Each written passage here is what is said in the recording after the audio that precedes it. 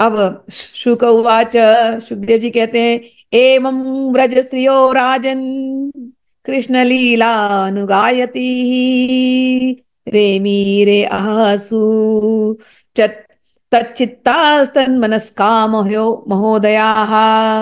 सुखदेव जी कहते हैं, परीक्षित, ये है गोपियाँ।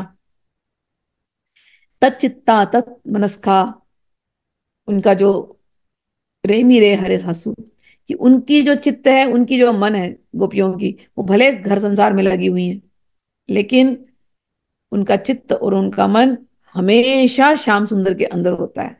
और ये कैसी हैं? कहते हैं महोदया ये गोपियाँ, महोदया।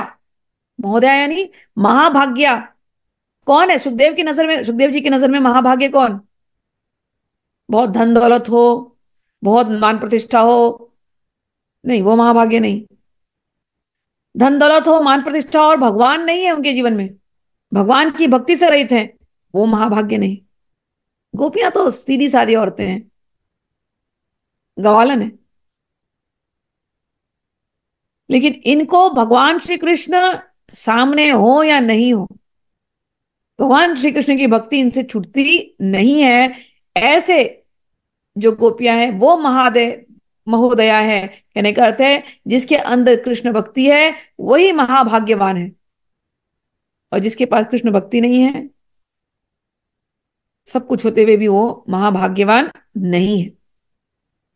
परीक्षित, बड़ भागिनी गोपियों का मन श्री कृष्ण में ही लगा रहता था। वे कृष्णमय हो गई थी।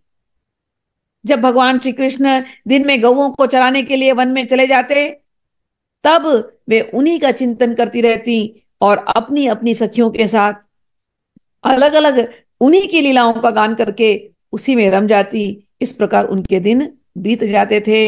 इस प्रकार से हमने गोपिका युगल गीत नाम का पैंतीसवा अध्याय यहाँ पर समाप्त किया।